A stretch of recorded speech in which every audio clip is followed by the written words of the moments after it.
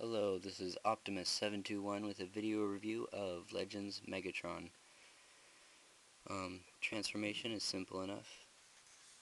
Pull his arms up, like that.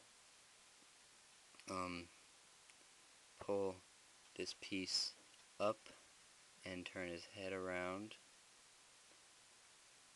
So it's like that.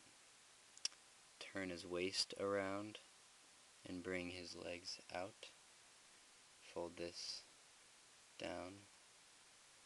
Same with the other leg. And there is his really awesome ship mode. This looks really cool, I think. Um, his robot mode is crap, I think, compared to this, at least. Because this is just awesome. Um, Alright. Uh, his arms, these parts are just a solid piece of rubber with black and gold paint and then it's just a gray plastic. Kinda metallic but not really. Well, anyway, uh, back to Robot. Twist his waist around. Uh, fold his feet back. Fold his legs down and tab in the feet on both sides.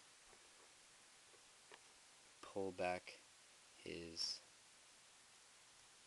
head on this piece and it kind of automorphs that chest piece into place. Fold it back, turn his head around, and then fold the arms down like that. His head and his arms are rubber. Solid piece of rubber, which I don't like.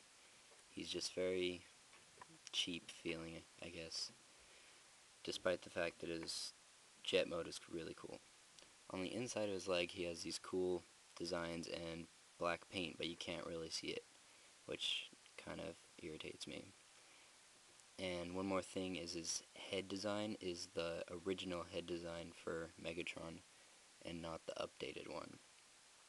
Um, he has red eyes and silver and black detailing on his head.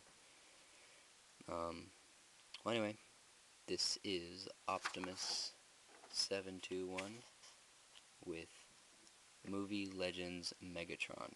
Thanks for watching.